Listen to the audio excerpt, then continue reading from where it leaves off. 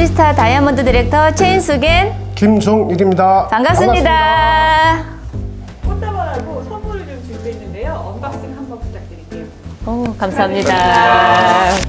축하드립니다. 카메라에 한번 네, 어머나, 오, 너무 멋지십니다. 네, 네, 잘 감사합니다. 네.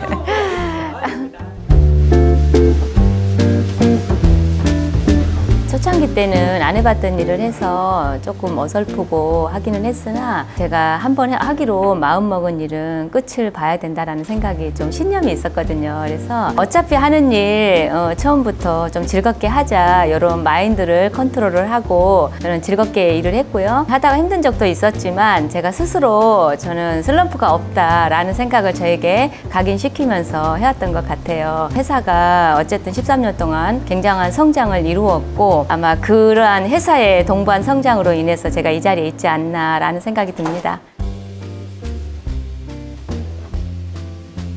어, Award Night는 항상 설레이죠. 한 1, 2년 정도 일을 열심히 한 결과에 대한 부분을 축하를 받기 때문에 항상 설레요. 그런데 거기에 사랑하는 스폰서님들 오시고 파트너님들이 함께 성장해서 그 무대 위에 오를 수 있어서 무엇보다도 가장 행복합니다.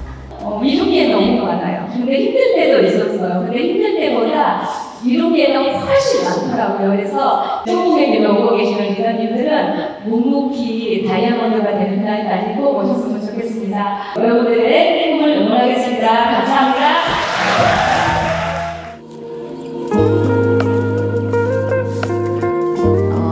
사람들과 소통하는 리더가 되고 싶어요. 나이층과 상관없이 소통하는 리더가 되고 싶고 저는 이런 생각이 들거든요. 사람을 살리는 일이라고 생각을 해요. 경제적으로 건강적으로 살리는 일이라고 생각을 하기 때문에 언제나 사람이 가장 소중하다 이런 생각을 갖고 어, 기다려 줄 줄도 알고 이끌어 줄 줄도 알고 제가 도와줄 수도 있고 막 이런 부분으로 저는 평생을 살지 않을까라는 생각이 들거든요.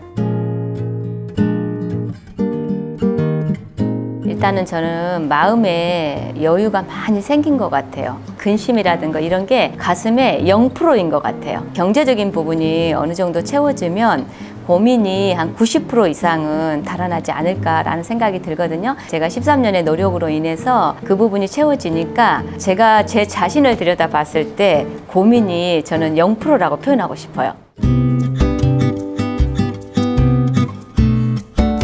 때가 가장 힘들었겠죠. 왜냐하면 제가 해보지 않았던 분야를 선택해서 그 길을 가게 됐고 어쨌든 사람들과의 그 소통이잖아요. 소통의 그릇이 어, 나도 배워가고 그들도 배워가고 막 이런 과정 속에서 힘들었던 것 같아요. 그런데 그게 힘들다고 생각을 하면 인생에서 힘들지 않은 일이 뭐가 있을까라는 생각이 들어서 어, 할수 있다는 생각, 저에게 저만의 그 셀프 리더십을 하면서 걸어갔던 것 같아요. 그리고 어느 정도 중간 정도 갔을 때는 일이 정말 쉽더라고요.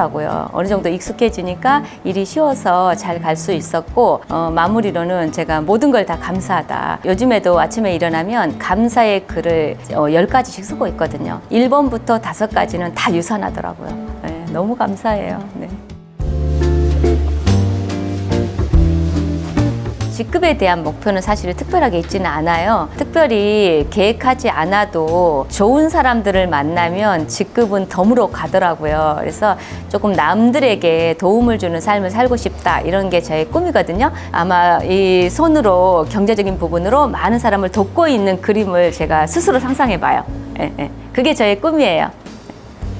유산화는 내가 그 많은 사람들에게 나눌 수 있는 가장 큰 선물이다 라고 생각합니다. 유산화를 만나서 사업을 진행하는 분들이라면 끝까지 잘 해내셔서 어, 유산화로 가정 모두가 부를 이루었으면 좋겠습니다.